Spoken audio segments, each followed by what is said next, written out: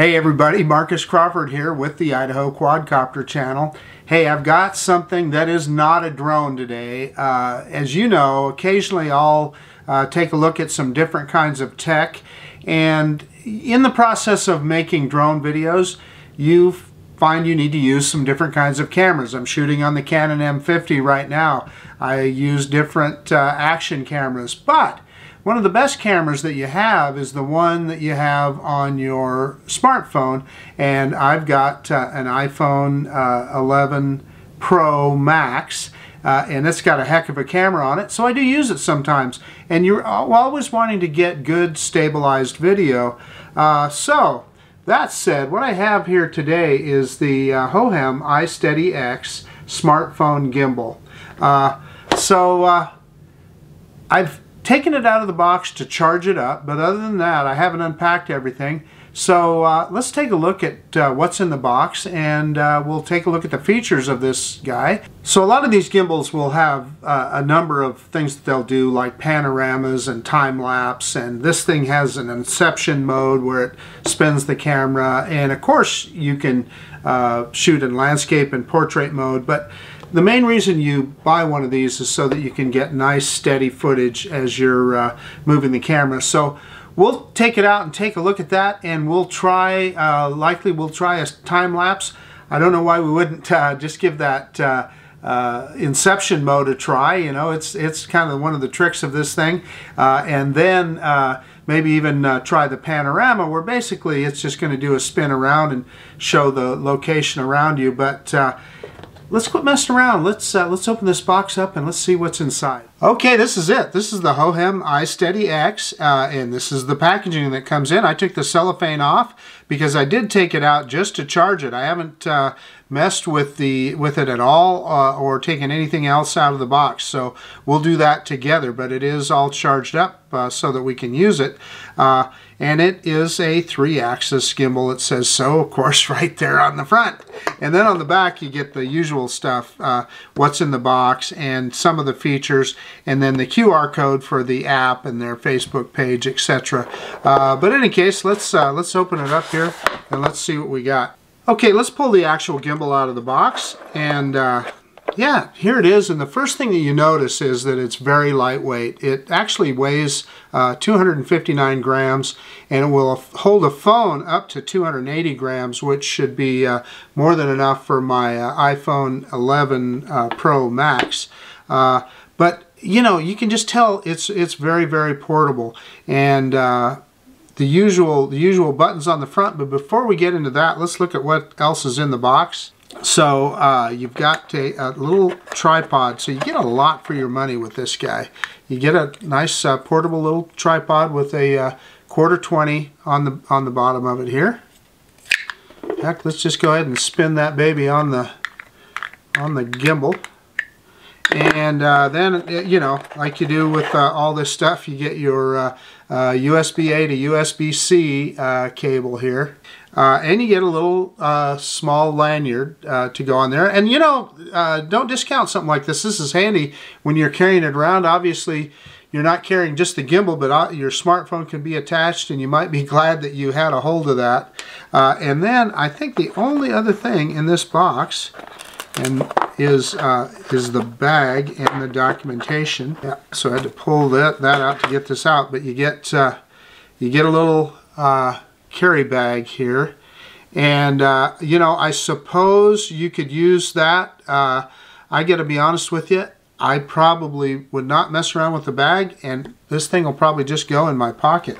And then, of course, you get uh, uh, documentation. Okay guys, we're going to stumble through this together. Uh, I'm going to install my uh, iPhone on the uh, Hohem iSteady X here and it does give you, I don't know if you can see it, there's some instructions uh, on the back of the gimbal but if I understand it correctly, I pull that out and we're going to uh, we're going to pull this instruction sheet off of here.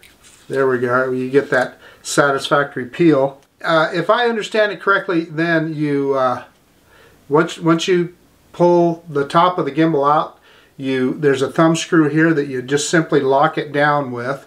And then it also can be locked Yeah, right there. I don't know if you can see that. It's it's locked in place. You do need to unlock that. First thing we'll do is uh, see if we can get the uh, the smartphone in here. One of the, uh, I think probably one of the cool things about this is that I can lock it in place uh, when I'm putting the smartphone in there. So that way you're not messing around with the thing, moving around uh, while you're trying to install your smartphone. And it does have a little label on here that tells you which way the camera should go. So I've got my iPhone here. I'm simply going to uh, put it in place there. And, uh, you know, you guys have all been through this before you just are going to kind of roughly uh, balance it but that looks uh, that looks pretty darn good so I'm going to unlock it and then uh, you're going to see here for the first time we're going to turn on the gimbal. And let me turn around the other way so you can see it.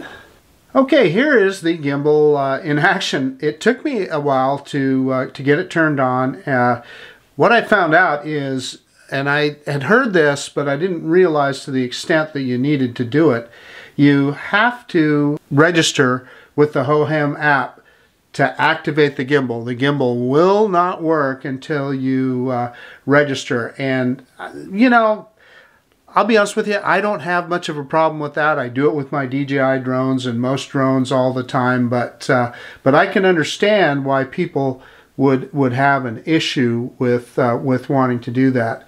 Uh, but there you get a good look at the gimbal itself and the app, and you know, you can see that it works here. And if you turn it upside down, it'll flip the phone over and you can you can get those low shots when you want to go down low with it. One tap of the right hand button will change uh, modes here. So uh, there we are in portrait mode and then to go back to landscape mode, uh, just one more tap and you're in landscape. Uh, uh, a double tap, let's, uh, we can move the gimbal off here. A double tap will recenter it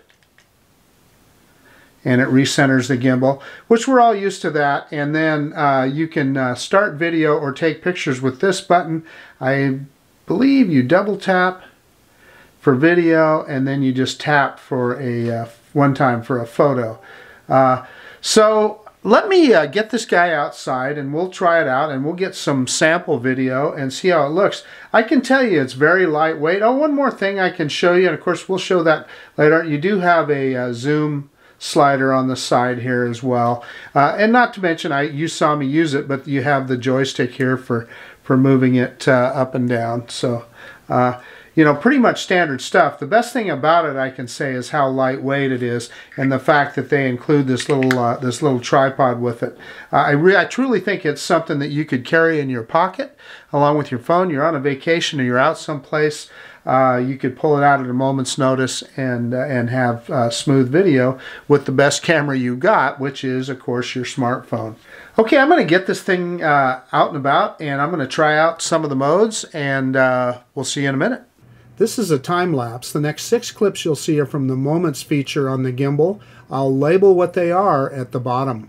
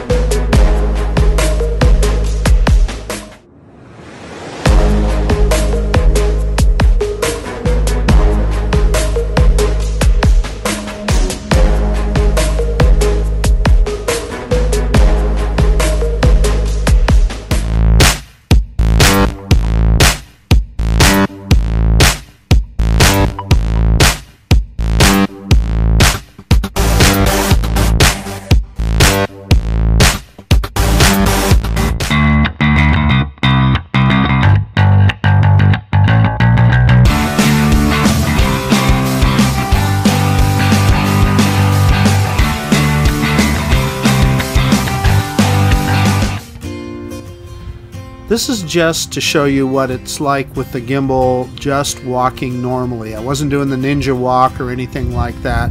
And there is a little up and down motion, but, uh, but I thought it looked pretty good.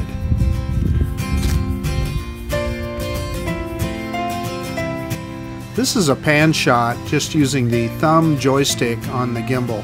Uh, I thought it was pretty smooth and looked okay.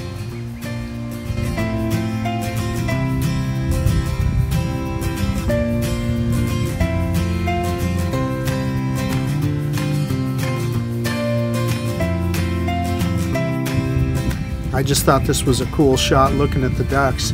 And of course, I'm not doing the duck walk, pun intended.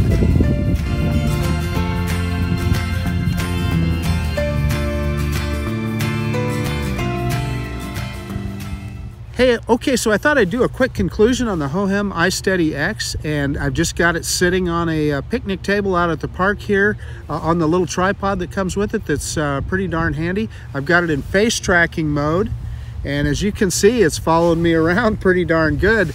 Uh, so, wow, what a lot of value uh, they've packed into this little guy. It's a lightweight uh, little mobile phone gimbal.